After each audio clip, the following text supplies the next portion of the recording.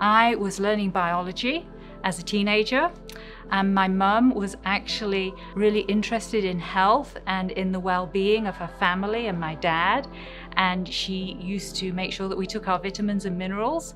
And that inspired a career in biology. And from that I just began to focus in on sort of skin care and also our overall well-being.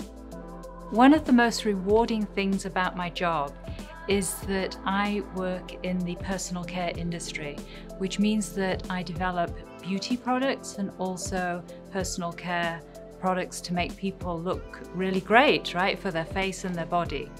And that is just tremendously impactful to the women that use it. Making them look better, helping their appearance actually can have so many other benefits for them.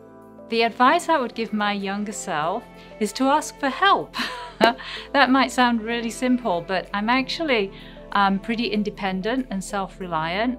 And the one thing that I have learned in my career is that the people around me are just so willing to help and support others.